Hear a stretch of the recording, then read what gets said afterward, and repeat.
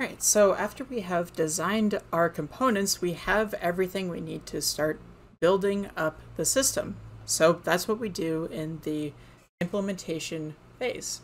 We actually start creating each component of the information system. We create the hardware, create the software, figure out all the database work, and get the procedures done and you know maybe wait a little bit on the people we don't really hire them quite yet until everything is done but we actually build everything. We test to make sure that everything is working and then we get the new system in place. We actually start converting the company to the new system. Now the actual building the system part of implementation is really important but I really want to stress the importance of testing as well. You don't want to just build the system and then throw it out there and hope for the best. You want to actually get the best idea possible that the system is working as expected. That is what testing gives you. Is it gives you if you do it right at least, it gives you the best idea possible that the system is working as expected. And if you do it right, You'll also figure out what parts of the system are not working as expected and be able to fix them. And then, once you fix them, you can continue testing until everything is right. And once everything is right, then, you know, you're good to go. So, testing. It ensures the systems are working as expected. The idea is that for each piece of the information system. For each uh, component, you're going to test that component individually. Now, if you have, say, multiple pieces of software, you're going to test all of those softwares. You're going to test how they interact with each other. If you're building the software itself, you're going to test that software extensively down to the figuring out like which lines of code are wrong and making sure that every single line of code has been tested thoroughly to make sure, you know, everything is behaving as it is expected. This idea of testing each constructed component individually is known as a unit test because you're testing every unit of the code. Then what you'll want to do is once every unit has been tested and everything is working correctly by itself, you integrate the systems together and then test the integration itself. You test the whole system by itself. And at this point, any issue here is almost certain to be due to some mismatch in the integration of all the different components, not within the components themselves. So you test the components, you make sure the components are working the way you want them to. Once that's good, then you can test the system as a whole to make sure that that is all running. And if you have issues when you're testing the system as a whole, it's probably an issue in how you put the pieces together rather than an issue with the pieces themselves. That's what's really important about testing in this way. You know that each piece works great, and then you put them together and you figure out how you know what issues arise from putting them all together. An example might be you have a software that you have created, a database application that interfaces with the database itself that you are using. And you can test the software and feed it in some fake data or allow it to write to a pretend database or something like that and you can make sure everything works great there. And you can also test the database, you know, you really make sure that all the right attributes are there, that it's structured the right way. If there are relationships, if it is a relational database, you know, you test that the relationships are right, all that kind of stuff. And then when you integrate them together, you know that the software is working great. The database is working great but if there's an error now, then there's probably an issue in how the software is interfacing with the database. Maybe you expected the database to look a certain way when the software was being written, but the database actually looked a little bit different. And that shows you, hey, the data that you are communicating with the database isn't the, what you expected it to be, and that's causing issues. So that test illustrated an issue with the integration, not with the components themselves. I mean, you might need to change the software component in order to reflect what the database component looks like. If you've done it right, you probably won't have to do all that much work to fix that issue. So you're making a change in the software, but the fundamental parts of the software, you know, the the actual behavior itself, you already know is working. So you could immediately pinpoint the issue to, well, they're essentially not speaking the same language. The they're looking for different shapes of data and you know figure it out from there. So that method of testing is really helpful. When we have testing, we always use a test plan, which is a sequence of actions that users will take when they are using the system. You're essentially emulating what a user is going to do as they go about their business actually working with the system. You're pretending to be a user and you're looking for any errors that might come up when you are a user doing things.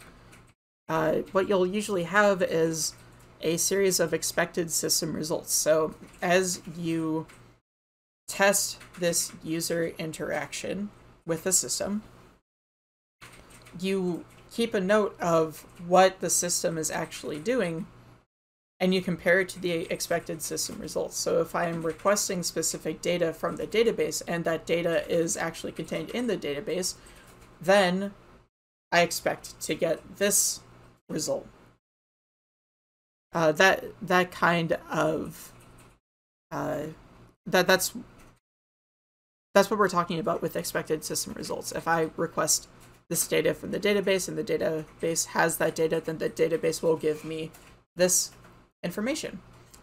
You could also test for like if I request this data and the database doesn't have it, the database gives me an error that says this.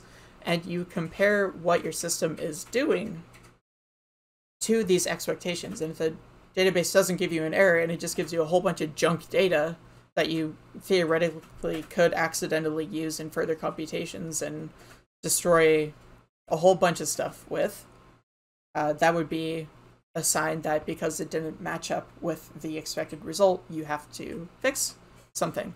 In testing, you would also do things like test for security. So when interacting with a database, for example, you might do uh, a SQL injection, which we briefly talked about in chapter 10, I believe, in order to see if you can completely erase the database uh, by entering in a uh, a malicious uh, command into your database application or something like that. So checking to make sure all uh, user inputs are sanitized to make sure they don't have any malicious code in them uh, is very important, important among other security considerations. When you're testing, you're going to include correct and incorrect user actions. So you're going to have the user do the right thing, interact with the system in the right way to make sure that it works. But if the user tries to interact with the system in the wrong way, for example, putting uh, the word blah instead of the date in a report or in a form that is asking for the date, uh, there should be an error given rather than actually trying to pass it into the database and have something bad happen, for example. So you want to test that the user is doing the right thing.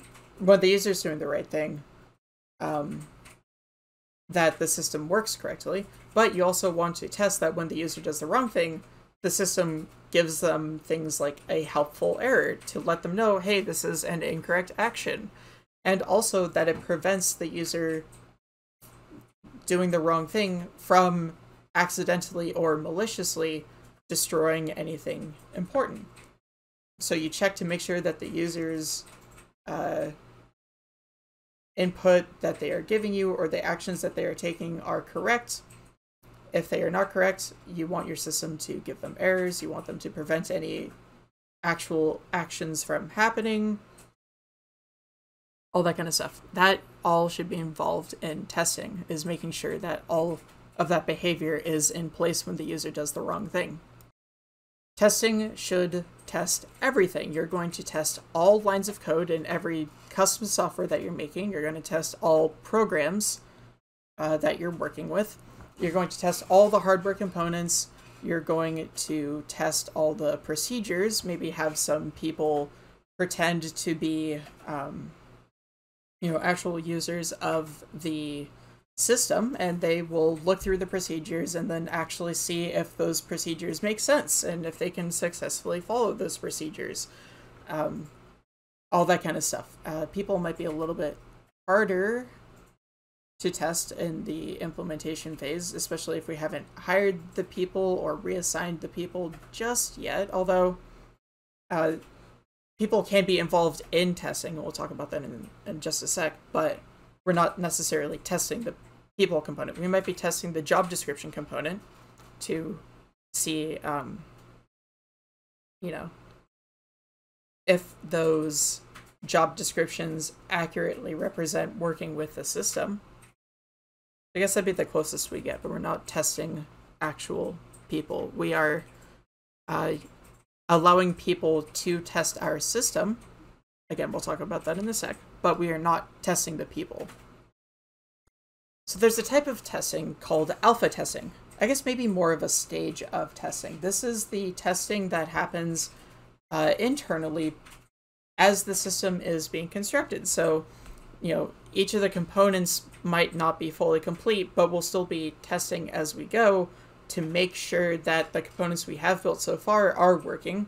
So we don't end up getting too far into the actual production of that component and then realize, oh, there's an error somewhere in the system, but who knows?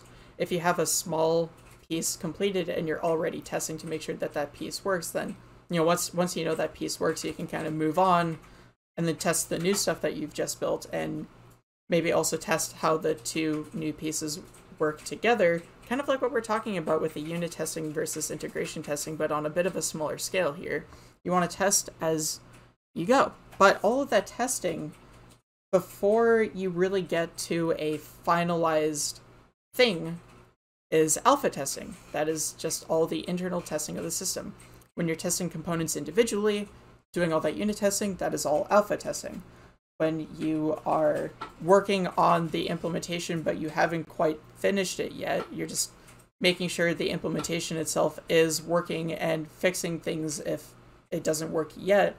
That all is alpha testing as well.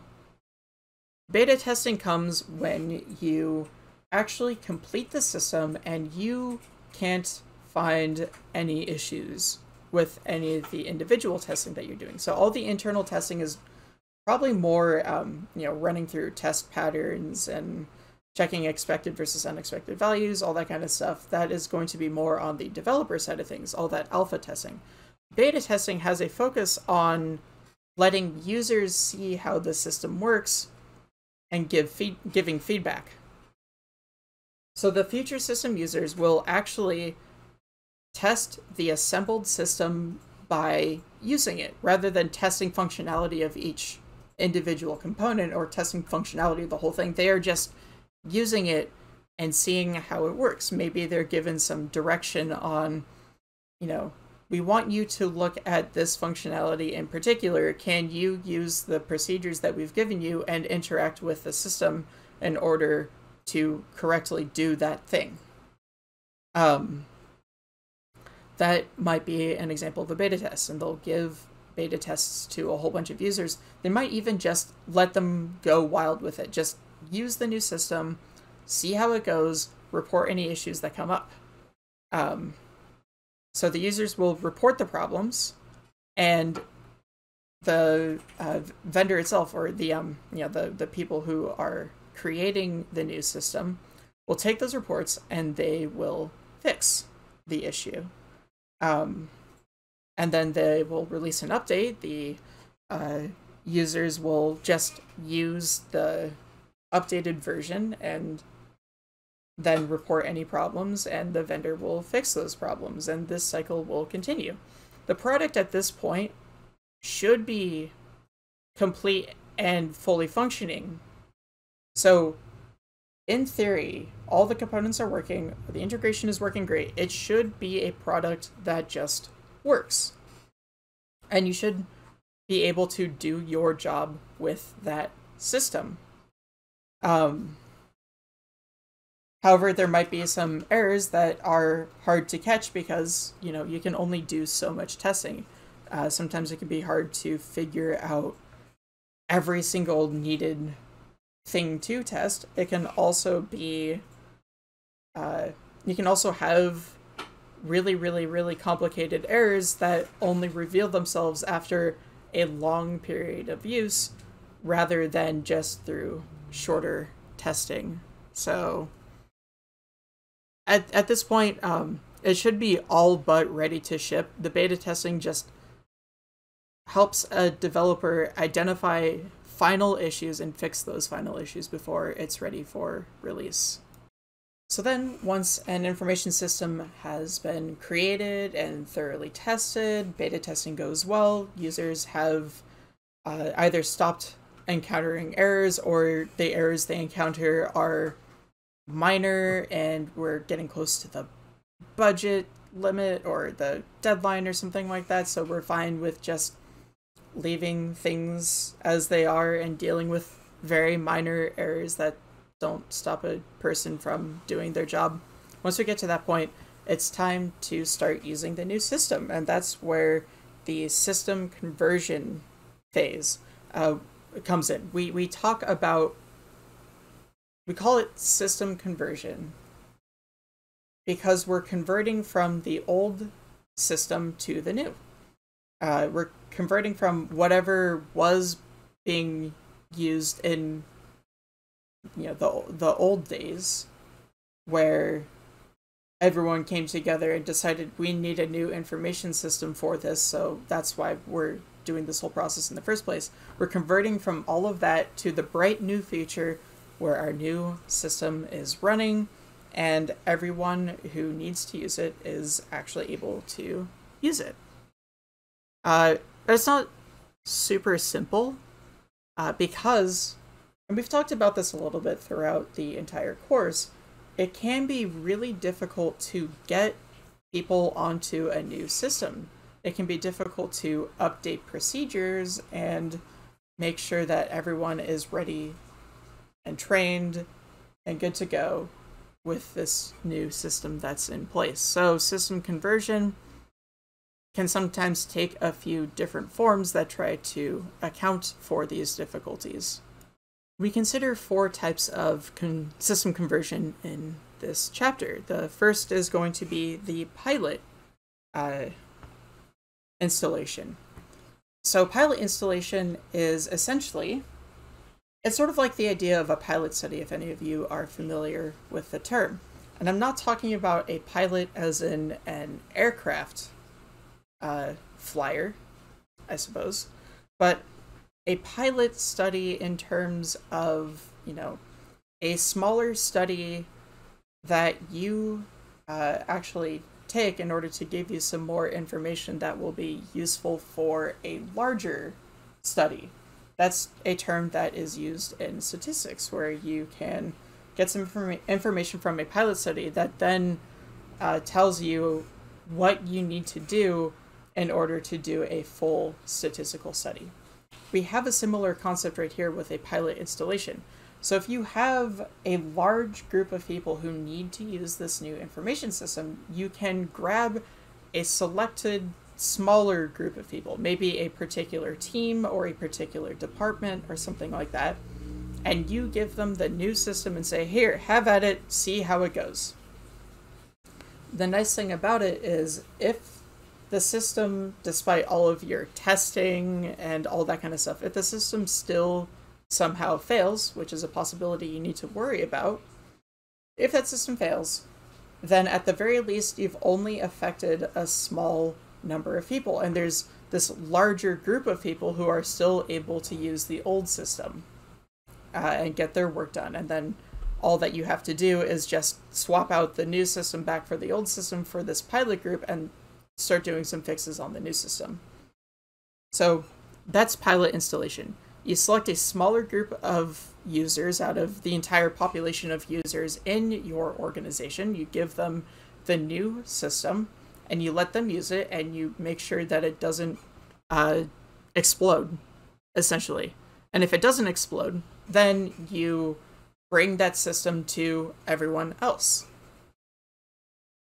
The next type of conversion is a phased installation. And this is not necessarily possible for all systems, um, but for systems that can be kind of broken into parts, for systems that are a little more modular and are able to interface with the old system uh, to some extent, you can actually use a phased installation to gradually introduce the new system. So a phased installation essentially has you introduce the new system in phases. You bring in one piece of your information system and you test it and see if it's all working. You know, you have everyone in the business working with the old system, but also this new component of the new system kind of in there and you see if anything goes wrong. And if everything is fine, then you take the next component and you phase that in and see if anything goes wrong. And then you take the next component, phase that in, you take the next next component, phase that in, and so on and so forth. Now, I'm not necessarily talking about components in the sense of like you introduce all the hardware first, and then all the software first, and then the database for, uh, after that. That might not be possible. Uh, instead, it might be if you have a whole um, if you have a whole system that's taking in data from each part of your company and it's taking all that data and it's trying to do something with it and it's providing a unified database that everyone can access sort of a erp type of system what you could do is you could introduce that new database into the marketing department. I'd like uh, take the marketing department's uh, database, put that into the new unified database, give them that, uh, introduce that software, have that phase going first, and then the next phase you could introduce is the customer service part of the system. So you integrate their data into your new database and then give them the new application to interact with the unified database. And then you phase in the uh, accounting department, let's say.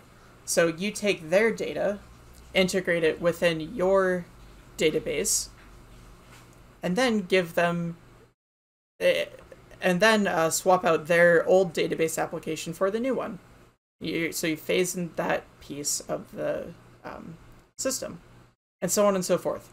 Uh, this example that I gave, I recognize does make it sound a little bit like a pilot installation. Here's the difference. A pilot installation might be uh, just having marketing use this database system, or even like a small section of marketing use this database system before you know you see if it works and then you give the entirety of marketing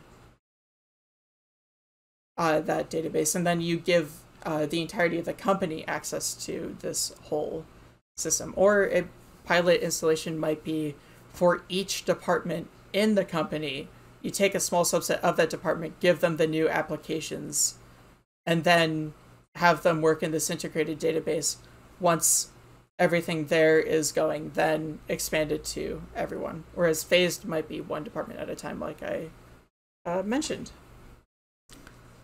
Uh, now, phased installation, sometimes you have a very tightly integrated new information system. Uh, you can't really separate things because the database can't work without the new software that you wrote, which has to run on the hardware that you built. All those procedures you can't really apply them to your old systems. They have to work with the new system and so on and so forth. So in that case phased installation would not work and you might have to try one of the other methods here. Then we have parallel installation. This is uh, certainly the most expensive um, at least up front, is the most expensive because what you do is you use the old system and also the new system at the same time. So you have two information systems that are doing the same thing, uh, and it's completely redundant on purpose. Um, everyone who works with the information system, the old one, and who will work with the new one, has to continue working with the old one, but they also have to do all the operations with the new one to see if the new one is working correctly.